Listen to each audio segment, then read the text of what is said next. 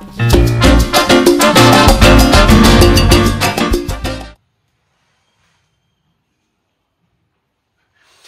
this is Callum from Turmeaus Chester, and today I'm sampling a bowl of Century Irish CM, which used to be known as Irish Cream.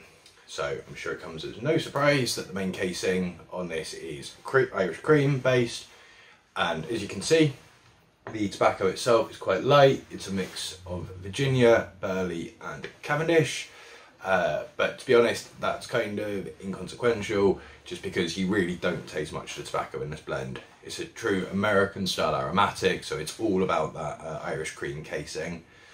Uh, it's not a, it's not a bad thing. Uh, I think it's quite unusual. I can't personally think of another Irish cream blend that I've known on the market. Um, I could be wrong, but there's certainly not many if there are. Um, and in this one's case, it does definitely taste like Irish cream. I also get a few other flavours like vanilla, a little bit of coconut, um, and as I get sort of towards more towards the end of the bowl, there's a little bit of a sort of like burnt sugar or burnt honey almost coming in there as well. So it's a really nice combination.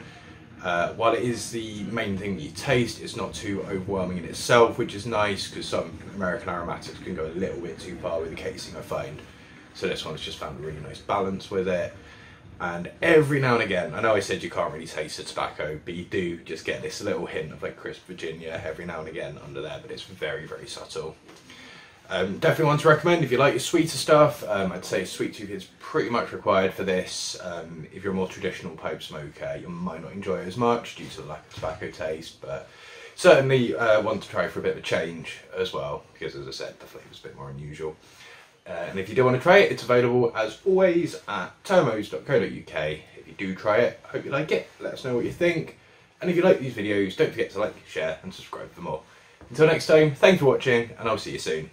Cheers.